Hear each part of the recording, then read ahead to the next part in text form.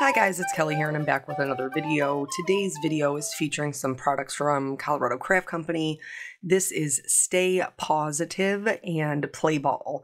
And we are going to be creating, I think originally it was supposed to be a one layer card, um, but then I forgot to mask my little doggy and so it ended up including some dies that we're going to blend into the scene, but it's a scene card nonetheless. Um, before we get too far into the video, I do want to let you know that Colorado Crafts is having a sale this weekend. I'm pretty sure we have Jennifer McGuire to thank for that. Um, the code is Jennifer30 and everything is 30% off the 6th, 7th, and 8th. Uh, so if there's anything that you've been looking to pick up from them, now would be the time. Um, these are these were released in July of last year, and quite honestly, that is when I made the card. that is when I made the card. Um, but I do have some of these videos that just kind of eh, got made but never got published kind of thing um, just because maybe i might have a couple of things due at the same time and so they get kind of backseated um, and then sometimes honestly they just sit there like and that's what happened to this one so i figured it'd be a good time to share it now the idea behind the card was this cute little doggy kind of laying outside sleeping on the porch and maybe um, thinking about his day of when he was playing or daydreaming about playing with this big red ball and so um, that is why you see like the little thought bubble cloud that i'm drawing i thought it was a really cute idea um, to use, you know, to combine the two sets because we're always looking to get more out of the things that we have. And um, so I'm working on Eclipse masking paper here, and then I'm just going to trim this out, this little mask that I made. Now you'll see that I am cutting it down to a smaller size. That makes the fussy cutting easier, but then also these bigger pieces, I'll just stick back to my Eclipse roll and I'll use them for another project because um, there's nothing wrong with them. They can totally be used for something else. So with that said, let's get into story time. Now, I cannot believe we are till we are till we are still telling stories from when I was teaching at Cape Cod, but this one is kind of too funny not to share. So I'm going to share it, even though it is um, kind of crazy and a little bit embarrassing. So, you guys know, if you've listened to Storytime 1 and 2, that with my travel anxiety, I take meds. Um, and so here was the game plan. So Thursday we flew in to Cape Cod, but I didn't teach until Friday. So Thursday was just kind of like our day to get in there and um, get settled in our room, do our little meet and greet, and then, you know, spend some time with each other. And then I taught Friday and Saturday, and then Sunday was a day for us to spend together. So um, that way, while we were uh you know, he was with me because obviously I was out there teaching, but also so that we could have a little bit of time to spend together um, because we have two children and we don't get a lot of time. we don't get a lot of time to ourselves. So I took my anti anxiety med before I got on the plane. And that lasted through. So Thursday, we got to the hotel. Um, we had not eaten, so we went to get um, lunch, and then we came back and took a nap. Then we went to this meet and greet which was great because I hadn't seen Jen in forever. I also got to see Libby. Um, she uh, was with Hero Arts for years and years, and now she's with My Favorite Things. She's wonderful. I've been friends with her for a long time, so I got to see them. And then I got to meet a lot of other nice people in the industry. Side note, back to the card. Um, so here I started off with my blending brushes, but you're going to see this is how long ago this was. This is before I discovered the Trinity blending brushes that are like my rider dies now. Um, that after I do the blending brushes, I'm going to switch back to the original foam applicator from Ranger. And that's because the blending brushes are great but they are a much lighter blend and I was looking for heavy saturation of color here.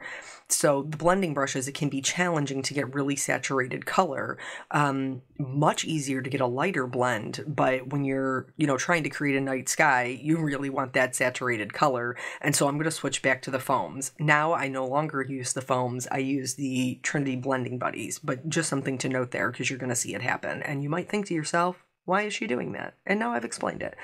So anyway, we go to the meet and greet, and the game plan is to go to the meet and greet and then go to dinner. Um, and so we get to the meet and greet, you know, we're chit chatting or whatever, and we're there for maybe 20 minutes, and I start feeling super sick to my stomach. Um, like I'm freezing, my teeth are chattering, and I, um, like I felt like I was going to pass out. So basically I'm like clinging to my husband's arm as he's walking me back to the room and he's like what do you want to, you know, what do you want to do? Like you still need to eat, I still need to eat and I was like, dude, I don't think I can go anywhere. So he ends up running out to get some food. I am full blown like warm fuzzy socks, sweatpants, long sleeve shirt, hoodie underneath the blankets. I am so cold.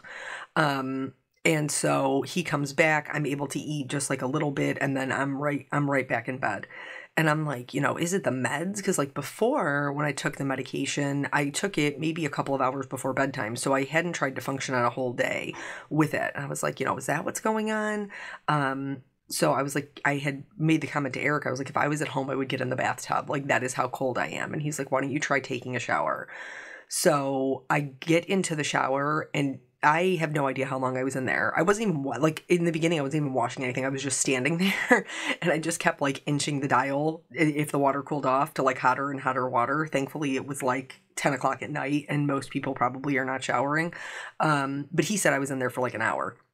So finally, I get around to, you know, washing my hair and all of that stuff. I get out of the shower, I blow dry my hair, um, but I'm right back into my comfy clothes. I am still cold. Like the moment I'm out of the shower, I'm still cold. And um, so I go to bed like that. About halfway through the night, I wake up and I am sweating to death. So now I'm stripping off layers, right?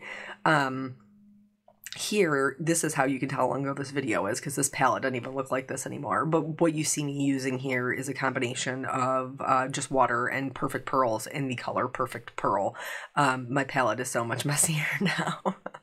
and then um, I'm also going to use some white acrylic paint. This is something else that I've kind of swapped out, but this still works really well and it's super affordable um, to just use a stiff brush and flick it on an acrylic block. I use the Copic Opaque White now because when you mix the acrylic paint with a little bit of water, it can become more transparent and I really like a bold white. So now that the sky is done, you can see I forgot to mask my little doggy tush, and that it, that becomes the entirety of my problem. Before I remove the rest of the masks, I am going to go in with a fine line pen. You do want to make sure that this is alcohol marker safe because we're going to be coloring the card with the rest of um, the rest of the card with Copic markers, but I'm just going to trace around this um, drawing so that it looks like it is a stamp so that it fits in with the rest of the scene that is stamped in a black outline. Um, but anyway, so the next morning I wake up and thankfully my first class on Friday was not until like 3:30 but I wake up on Friday morning and I'm like super congested and I have a sore throat and I'm like, "Bro, I am sick. I am sick." You got to be kidding me. I never travel and now I'm sick. And I know that I had to get it before I got on the plane because like it was literally night of that we traveled. So my wonderful husband um goes out. He actually gets me some. I told him to look for like a Sudafed or Aleve D, um, but he couldn't find any. And then he bought me Tylenol cold and flu, which was fine. And um, he also picked me up because it's been a really long time since I've taught in person, and I am so like some things you're just used to having. I'm so used to having my glass mat. I'm so used to having my glass mat that I completely forgot to tell people that they would need a craft mat for my class. Both of my class had ink smushing techniques in them, and I don't have a craft mat, and I've told nobody to bring them. So fortunately, um, while he was out, I just told him I was like, just go to the dollar store and just buy tablecloths because at least it'll give them, you know, a surface that's a non porous surface most of the people did have a craft mat with them, so it wasn't really a huge issue. But I did have to go to like the on site store and buy one for myself because I did not put it on my list, and consequently, I did not bring it. Um, but anywho, so I take the Tylenol cold and flu, and it does work. I'm able to go Friday to teach my class, no issues. You know, obviously, I'm not in anybody's face. I'm at the front of the class, so you know, not sharing any of my my germs.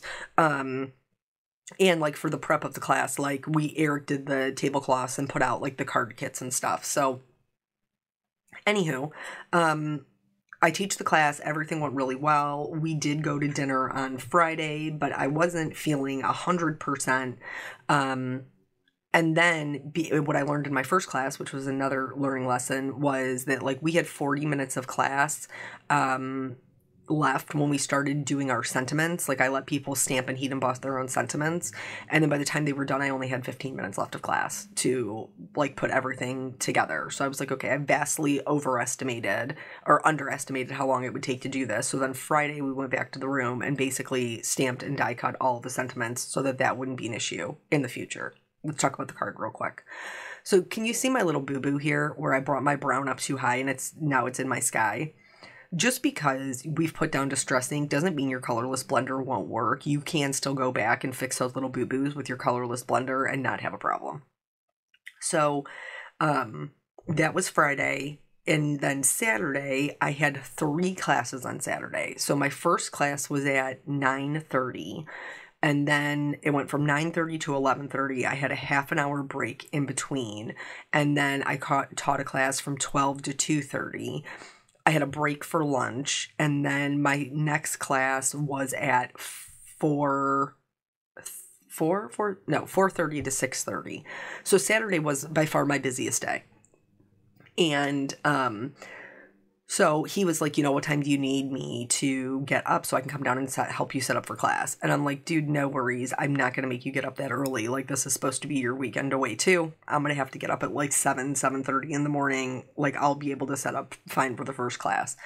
But if you remember going back to when I was redoing my website, um, they had asked me for like some pictures of me teaching, and I didn't have any. And I was like, bro, I don't, I'm busy teaching. Like, I don't have any pictures of me teaching. Um, so I asked him, like, could you please, you know, come down at like 11, which is the end of the first class, and then close enough to the beginning of the second class, you should be able to get both of them, like pictures of both of them, and then you can just go on about your day. And he's like, yeah, no problem. So I get up in the morning, I go down to the lobby, I get myself some tea, I come back, I take my cold meds, I get myself ready, and then I realize that I do need to eat something. So I DoorDash myself some Dunkin' Donuts. You guys know how I feel about Dunkin'. Get myself a coffee and a bagel. I go back downstairs. I meet the DoorDash guy at the door, and then I go to my class and get all of those things um, set up for class. Now, two of my classes were sold out, two of them were not, and this one was the one that was not sold out. So it was a much smaller group of people, which was really nice to, you know, be able to like kind of get to know each other better. And it was a bit more chit chatty, a bit more of an intimate setting. And so we're most of the way through the class. Like we're almost to the point of like just assembling things. Um, like people are just finishing up their coloring and then, you know, we're going to be assembling. When I get so sick to my stomach, so sick to my stomach. and I'm like, you know what? I'm just gonna I'm gonna step out. There was a bathroom in the in the hallway. Um and so I went over there, like, thankfully it was a single person bathroom, so I wasn't going to have an audience, but I was so sick to my stomach. And um, when I come out of the bathroom, my husband is coming down the hall, uh, and he has another, like, God love him, he has brought me a coffee because he's gotten himself a coffee. And he just, like, gives me this, like, kind of, like, quizzical, concerned look, and I'm like, it's so bad. It's so bad. So we go back into class. I'm able to finish up that class, and then I am like I'm sick. and I it's so I am so sick to my stomach. So I was this is no jo- like it was guys I cannot even tell you like this was my worst nightmare. Like I never travel, I never teach in person and now here I am having to like continually walk out of class because I am just super sick. So after like we get all done with the first class and we get the second class in, and we're getting all of that set up. I have i'm i'm out of the room again back across the hallway. Um i managed to get through kind of like the introductions and um like through i think the first part of the ink smushing and like i had told eric like don't leave. Don't leave because i might need you and so we're getting ready to do the second portion of the ink smushing. And with no warning, like, dude, I have the best husband. I really do. With no warning whatsoever. I'm like, and now my husband is going to walk you through um, how to do the second one because I'm going to need to step out. He has no clue what he's doing. Thank God he's been watching my videos for years. And he just like stepped right up to the plate. And later on, he told me, he's like, I told them, you know, like I am a certified instructor, but I am not a certified instructor in card making. So we're just going to wing it here. so after I think the third or fourth time I had to walk out of class, like finally I just have to address it. Like let's be real, these people have paid for this class, and if I had paid for a class um and my instructor kept walking out, like I would be wondering what is going on. And so I just tell them like, look, here's the deal. I take you know i have travel anxiety. I take meds for that. And um like i'm just i'm sick to my stomach. And they were so kind and so gracious. One lady was like i have the little electrolyte packets. You know do you want one of those? And i was like thank you. I'm you know but i'm good. So um i did have medication back in my room. My wonderful husband like this conference center is not like an up and down. This conference center is more like a football field and the conference center where I'm teaching at is on one end and our room is clear on the other. So Eric did leave to go get me some meds to help settle my stomach. And um, thankfully, like he's very smart. He opened he opened them in the room and then put them like in a little packet to bring them to me so I would not have to try to uncover Jimmy Hoffa's body in the middle of class while I was trying to take these pills. You guys know they lock them up like government secrets. Um, and so he brought me some medicine, and it did take probably about 45 minutes for that medication to kick in. But in between those 45 minutes, I was in and out of that classroom seven times. It was so terrible. I was so sick. So finally, we get through that class, and now I have this, um, you know, a little bit of a break. He's like, You still have to eat something. And I'm like, I'm terrified to eat, bro. I don't want to do it. And he is like, well, I was going to go to this place because we're on the East Coast, you know, and he loves seafood. And like when you're on the coast, that's when you want to get seafood. And um, so he's like, I was going to go to this place for lunch and get the lobster roll, but there's like a Panera in the parking lot. So why don't I go there? And I was like, great. Can you grab me a yogurt? And the mac and cheese, but make sure they give you the bread because bare, like, I should be able to keep bread you know, in bare minimum. So while he does that, I just basically lay around in bed. I just basically lay around in bed and then um like and at this point I'm no longer taking my Tylenol cold and flu cuz here's what I'm thinking. I'm thinking that it is the mix of the meds that is making me so sick. So I'm just like I'm I'm giving up on the over the counter stuff. I the other stuff that I took the anti-anxiety meds um should be out of my system. You know, it's been 2 days now. Uh, so I'm just hoping that if I just don't put anything else on my stomach that it will get better.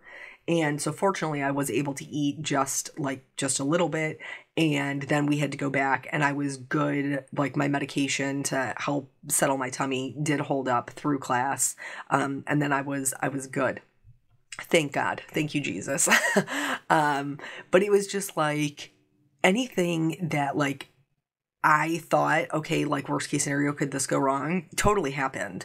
I was sick and then I was sick a different way. And then um, when we went, we went to dinner on Saturday because um, I was finally feeling better. But my voice, if you guys remember that video, like my voice was gone between teaching and being sick. So I'm like, everything is like every third word at half a whisper. Um, and then on the way back to the hotel room, I realize I'm getting a cold sore. I'm like, are you kidding me? because you know, if you ha- get cold sores, you know, when your immune system gets run down, when you're sick, like that's when you're more likely to have an outbreak of a cold sore. And that's exactly what happened to me.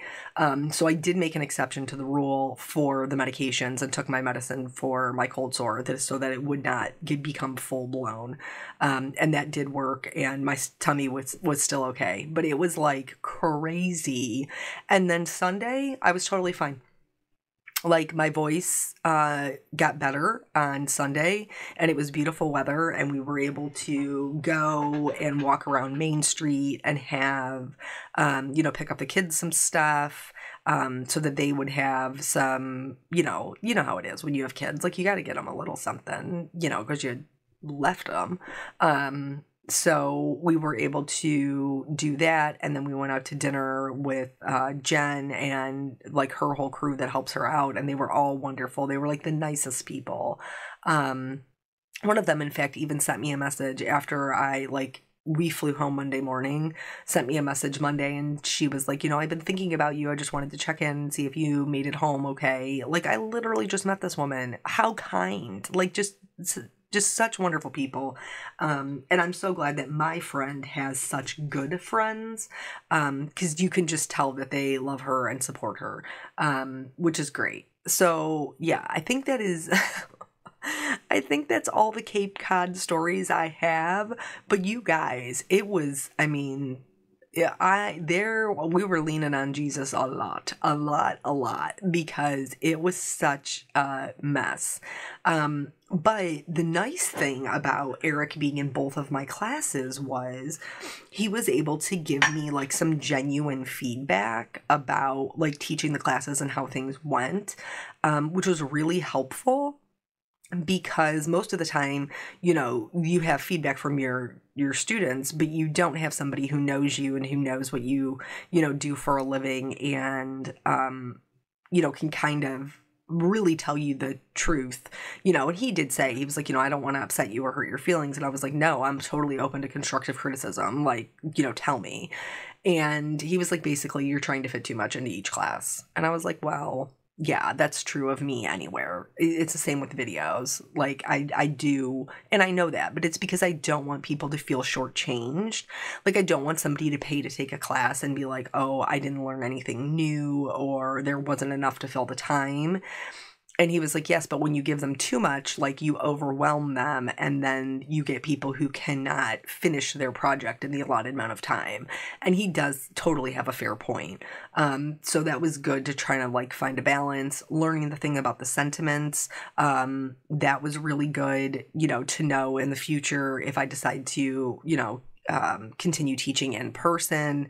Um, so really just like a lot of really good lessons for me in going out there and teaching. And of course even though it was hard because of my anxiety like i'm super glad that we went um because like you had sometimes you just like exposure therapy is what they call it. Like sometimes you just have to do it even though it's really really hard because when you avoid it you train your brain to think that that is a bad thing or a hurtful thing and so sometimes you have to do it terrified and that's pretty much how I roll. I pretty much do everything just terrified.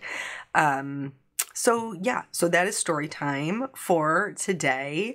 Um, here I'm just finishing up the card. I, you know, heat emboss the sentiment and put that on. I'm adding some white highlights, and then that's it. Here's our cute little puppy daydreaming about um, how he's going to play maybe like how he played today or maybe how he'll play tomorrow but i think he's adorable if you love colorado crafts make sure you check out that sale it's a really good one uh, thank you guys so much for your time and i will catch you on the next video bye